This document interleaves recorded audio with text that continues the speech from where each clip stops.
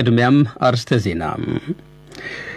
በትግራይ ክልል ከሰላማዊ ዜጎች ግድያና ከጾታዊ ጥቃት ጋር በተያያዘ 53 የአገር መከላከያ ሰራዊት አባላት ላይ ክስ መመስረቱን የፌዴራል ጠቅላይ አቃቤ ሕግ አስታወቀ። እነ ጀኔራል ሰዓረ መኮንንን ገድሏል በሚል የተከሰሰው አስር አለቃ መሳፍን ጥጋቡ መኮንን ጥፋተኛ መባሉን የኢፌድሪ ጠቅላይ አቃቤ ሕግ አስታወቀ። የዩናይትድ ስቴትስ ፕሬዝዳንት ጆ ባይደን ከቻይና መንግስት ጋር ግንኙነት አላቸው ያሏቸው የቻይና ኩባንያዎችን በጥቁር መዝገብ ላይ አሰፈሩም። የቻይና መንግስት የቻይና ኩባንያዎችን መብትና ፍላጎት ለማስጠበቅ አስፈላጊውን እርምጃ እንደሚወስድ አስጠንቅቋል። ሩሲያ ሱዳን ውስጥ የባህር ኃይል ጦር ሰፈር ለማቋቋም ከሱዳን ጋር የገባችው ስምምነት አለመጨናገፉን ዛሬ አስታወቀች። ሱዳን በቀድሞ የአገሪቱ ፕሬዝዳንት ኦማር አልበሽር አገዛዝ ዘመን የቀይ ባህር ጠረፍ ላይ የሩሲያ የጦር ሰፈርን ለማቋቋም የገባችውን ስምምነት እንደምታጤንበት ሰሞኑን ገልጣ ነበር። ዜናው በዝርዝር እነ ጀኔራል ሰዓረ መኮንንን ገድሏል በሚል ወንጀል የተከሰሰው አስር አለቃ መሳፍን ጥጋቡ መኮንን ጥፋተኛ መባሉን የኢፌድሪ ጠቅላይ አቃቤ ሕግ ገለጠ። ተከሳሹ በሰኔ 15 ቀን 2011 ዓ ም ከምሽቱ 3 ሰዓት ላይ በሽጉጥ ተኩሶ ጀኔራል ሰዓረ መኮንንና ሜጀር ጀኔራል ገዛኤ አበራን ገድሎ ለማምለጥ ሲሞክር ተከቦ በቁጥጥር ስር ውሏል ሲል ጠቅላይ አቃቤ ሕግ በፌስ ቡክ ገጹ አትቷል። የወንጀል ክስ ቀርቦበትም ጉዳዩ በክርክር ሂደት ላይ የነበረ መሆኑ ይታወቃል ሲልም አክሏል። ችሎቱ የግራ ቀኙን ክርክርና ማስረጃ እንዳመዛዘንና በግንቦት 27 ቀን 2013 ዓ ም በዋለው ችሎትም አቃቢ ሕግ እንደ ክሱ ያስረዳና ተከሳሽ ያላስተባበለ መሆኑን መረጋገጡን ጠቅሷል።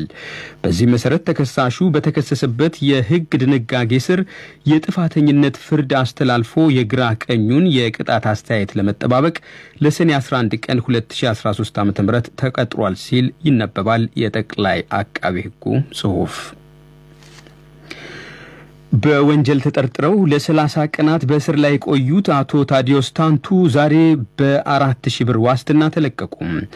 አቶ ታዲዮስ በህቡ በመደራጀት ከውጭ ካሉ አካላት ጋር በመሆን ስድስተኛው አገር አቀፍ ምርጫ እንዳይከናወን እየተንቀሳቀሱ ይገኛሉ በሚል ወንጀል ተጠርጥረው ነበር ሚያዝያ 7 ቀን 2013 ዓ ም በፖሊስ ቁጥጥር ስር የዋሉት። በተጨማሪም ህዝቦችን ለብጥብጥና ሁከት እንዲነሳሱና እንዲንቀሳቀሱ አድርጓል በሚልም ተጠርጥረው ፖሊስ ምርመራ ሲያደርግባቸው ቆይቶ ፍርድ ቤት ዛሬ በዋስ ለቋቸዋል ሲሉ ጠበቃቸው አቶ እንደገና ግዛው ለዶቼ ቬሌ ዲደብሊው ተናግሯል። ሶስት ጊዜ ፍርድ ቤት ቀርበዋል።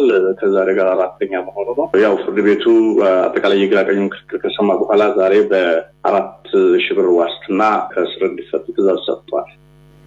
የፌዴራል የመጀመሪያ ደረጃ ፍርድ ቤት አራዳ ምድብ አንደኛ ጊዜ ቀጠሮ ችሎት ጠበቃቸው ግለሰቡ በእስር የሚያቆያቸው ምንም ምክንያት የለም በሚል ያቀረበውን መከራከሪያ ተቀብሎ ይህንን ብይን መስጠቱንም አቶ እንደገና ገልጸዋል። ምርመራዬን አልጨረስኩም፣ በስር ላይ ቆይተው ምርመራዬን ላጠናቅ የሚል ክርክር ያቀረበው። እሳቸውን ደግሞ በስር የሚያቆይ ምክንያት የለም፣ ምርመራ ካለው ምርመራውን በሚያጣራበት ሁናቴ ያጣራ። ራሳቸውን በስራ ቆይተው ምርመራው እንዲከናወን የሚያስችል በቂ ምክንያት አላቀረበም በሚል ተከራክረን ነው ፍርድ ቤቱም ይህን ተገንዝቦ ከስር እንዲፈቱ ትዕዛዝ የሰጠው በዋስ እንዲለቀቁ ያደረገው። ስለዚህ ወደፊት ክስ ይመስረት አይመስርት አናውቅም። አሁን ተጠርጥረው ነው ያሉት እንጂ መደበኛ ክስ አልተመሰረተባቸውም። አቶ ታዲዮስ ታንቱ ከመታሰራቸው ቀደም ብሎ የኢትዮጵያ ጀግኖች አርበኞች ቀን ክብረ በዓል በአዲስ አበባ አራት ኪሎ ሲከበር በማህበራዊ መገናኛ ቃለመጠይቅ ተደርጎላቸው ነበር። በወቅቱ አጠር ባለው ቃለመጠይቅ የአማራ ሁለገብ አበርክቶ ለኢትዮጵያ በሚል የሰጡት ምላሽም መነጋገሪያ ሆኖ ሰንብቶ ነበር። አቶ ታዲዮስ በህትመት የመገናኛ ብዙሃን ዘርፍ የረዥም ጊዜ ልምድ ያላቸው ጋዜጠኛና ደራሲ እንዲሁም ለተገፉ ሰዎች ተቆርቋሪ ሰው መሆናቸው ይነገራል። በትግራይ ክልል ከሰላማዊ ዜጎች ግድያና ከጾታዊ ጥቃት ጋር በተያያዘ በ53 የሀገር መከላከያ ሰራዊት አባላት ላይ ክስ መመስረቱን የፌዴራል ጠቅላይ አቃቤ ሕግ አስታወቀ። የፌዴራል ጠቅላይ አቃቤ ሕግ ዶክተር ጌዲዮን ጢሞቴዎስ ትናንት በጠቅላይ ሚኒስትር ጽህፈት ቤት በሰጡት ጋዜጣዊ መግለጫ ከመካከላቸው 28ቱ ከሰላማዊ ዜጎች ግድያ ጋር በተያያዘ 25ቱ ደግሞ ከጾታዊ ጥቃት ጋር በተያያዘ ክስ እንደተመሰረተባቸው መናገራቸውን የኢትዮጵያ ዜና አገልግሎት ዘግቧል። ዜና አገልግሎቱ ዘገባው ዶክተር ጢሞቴዎስ በማይካድራ ነዋሪዎችን በመግደል እጃቸው አለበት የተባሉ ሁለት መቶ ሰዎች መለየታቸውና ከነዚህም 23ቱ በቁጥጥር ስር ውለው ክስ እንደተመሰረተባቸው ብሎም የፍርድ ሂደቱ በፌዴራል ከፍተኛ ፍርድ ቤት እየተካሄደ ነው ማለታቸው በዘገባው ተጠቅሷል።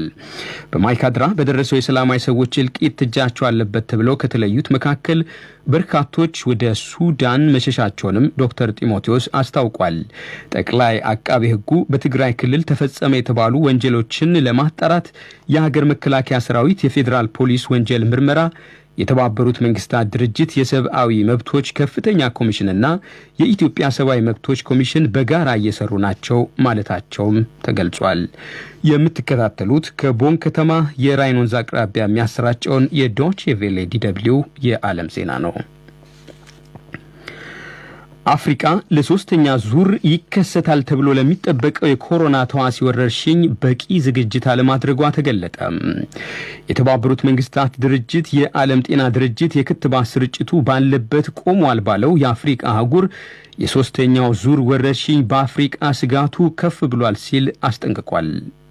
የዓለም ጤና ድርጅቱ የአፍሪቃ ክፍል ኃላፊ ዶክተር ማትሺዲሶ ሞይቲ አብዛኞቹ የአፍሪቃ ሀገራት ሐኪም ቤቶችና ክሊኒኮች የታማሚው ቁጥር ከፍ ቢልም ያለ ማስተናገድ ዝግጁ አይደሉም ብሏል። አፍሪቃ ውስጥ እስካሁን 4.8 ሚሊዮን ሰዎች በኮቪድ ተዋሲ እንደተጠቁ ከነዚያ መካከልም 130 ሺህ ያሉ ከኮቪድ ጋር በተያያዘ ሕይወታቸው ማለፉን የዓለም ጤና ድርጅቱ ገልጧል። ሩሲያ ሱዳን ውስጥ የባህር ኃይል ጦር ሰፈር ለማቋቋም ከሱዳን ጋር የገባችው ስምምነት አለመጨናገፉን ዛሬ አስታወቀች። የሩሲያ ውጭ ጉዳይ ምክትል ሚኒስትር ሚካኤል ቦግዳኖቭ ሱዳንና ሩሲያን አንዳች የሚያግባባ ነገር ሊኖር ይችላል ማለታቸውን ኢንተርፋክስ ዛሬ መዘገቡን ሮይተርስ የዜና ምንጭ አትቷል።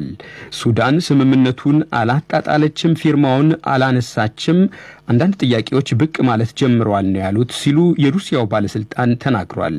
ሱዳን በቀድሞ የአገሪቱ ፕሬዝዳንት ኦማር አልበሽር አገዛዝ ዘመን የቀይ ባህር ጠረፍ ላይ የሩሲያ የጦር ሰፈርን ለማቋቋም የገባችውን ስምምነት እንደምታጤንበት ገልጣ ነበርን። የዩናይትድ ስቴትስ ፕሬዝዳንት ጆ ባይደን ከቻይና መንግስት ጋር ግንኙነት አላቸው ያሏቸው የቻይና ኩባንያዎችን በጥቁር መዝገብ ላይ አሰፈሩ። በቁጥር 59 የሚጠጉ የቻይና ኩባንያዎች ከሚቀጥለው ነሐሴ ወር ጀምሮ በአሜሪካ ገበያ እንዳይገቡ መታገዳቸውን ገልጧል። ከ59ኙ ኩባንያዎች 40 የሚሆኑት በቀድሞ የአሜሪካ ፕሬዝዳንት ዶናልድ ትራምፕ ከቻይና ጦር ጋር ግንኙነት አላቸው ተብለው ጥቁር መዝገብ ላይ ያሰፈሩ ናቸው። የቻይና መንግስት የዩናይትድ ስቴትስ እርምጃን ተቃውሞታል። የቻይና ውጭ ጉዳይ ሚኒስትር ቃል አቀባይ ዋንግ ዌንቢን የዩናይትድ ስቴትስ ድርጊት ሁለቱን ሀገራት የሚጎዳ ተግባር ነው ብሏል። የዩናይትድ ስቴትስ መንግስት ብሔራዊ ደህንነት የሚለው ጽንሰ ሀሳቡ ጥቅል ከመሆኑም ባሻገር የቻይና ኩባንያዎችን በተገኘው አጋጣሚ ለመደፍለቅ የመንግስትን ስልጣን ያለ አግባብ የተጠቀመ ነው። ቻይና ይህን አጥብቃ ትቃወማለች፣ የገበያ ህግጋትን ያውካል፣ ብሎም የቻይናና የሌሎች ሀገራት ባለሀብቶችን የራሷ የአሜሪካን ጨምሮ መብቶችና ፍላጎቶችን ይጎዳል። ዩናይትድ ስቴትስ የገበያ ህግጋትና መርሆችን እንድታከብር ቻይና ታሳስባለች። 非歧视的营商投资环境。ዩናይትድ ስቴትስ ኩባንያዎችን ለመጫን በሚል መዝገብ የምትለውን ነገርም እንድትተው አድሏዊ ያልሆነ ፍትሐዊ ግብይት እንዲኖር እንድትተጋ ቻይና አስገንዝባለች። የቻይና መንግስት የቻይና ኩባንያዎችን መብትና ፍላጎት ለማስጠበቅ አስፈላጊውን እርምጃ እንደሚወስድም ገልጧል። የባይደን አስተዳደር ጥቁር መዝገብ ውስጥ ያካተታቸው ተጨማሪ ኩባንያዎች የሰብአዊ መብቶች እንዲጣሱ የሚያግዙ የመቆጣጠሪያ ስነ ቴክኒክ በማምረት የተሰማሩ ናቸው ተብሏል። ይህ ዶቼ ቬሌ ሬዲዮ ነው።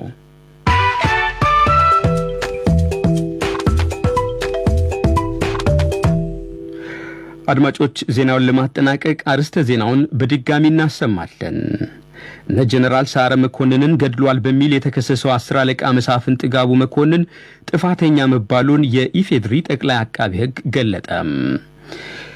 በትግራይ ክልል ከሰላማዊ ዜጎች ግድያና ከጾታዊ ጥቃት ጋር በተያያዘ በ53 የአገር መከላከያ ሰራዊት አባላት ላይ ክስ መመስረቱን የፌዴራል ጠቅላይ አቃቢ ሕግ አስታወቀም። የዩናይትድ ስቴትስ ፕሬዝዳንት ጆ ባይደን ከቻይና መንግስት ጋር ግንኙነት አላቸው ያሏቸው የቻይና ኩባንያዎችን በጥቁር መዝገብ ላይ አሰፈሩ። የቻይና መንግስት የቻይና ኩባንያዎችን መብትና ፍላጎት ለማስጠበቅ አስፈላጊውን እርምጃ እንደሚወስድ አስጠንቅቋል። ሩሲያ ሱዳን ውስጥ የባህር ኃይል ጦር ሰፈር ለማቋቋም ከሱዳን ጋር የገባችው ስምምነት አለመጨናገፉን ዛሬ አስታወቀች። ሱዳን በቀድሞ የአገሪቱ ፕሬዝዳንት ኦማር አልበሽር አገዛዝ ዘመን የቀይ ባህር ጠረፍ ላይ የሩሲያ የጦር ሰፈርን ለማቋቋም የገባችውን ስምምነት እንደምታጤንበት ሰሞኑን ገልጣ ነበር።